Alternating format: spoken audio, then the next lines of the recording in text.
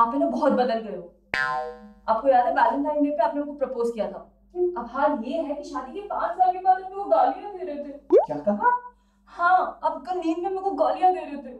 नहीं नहीं नहीं ये तो तुम्हारी गलत फहमी है। क्या गलत फहमी? यही कि मैं नहीं में था।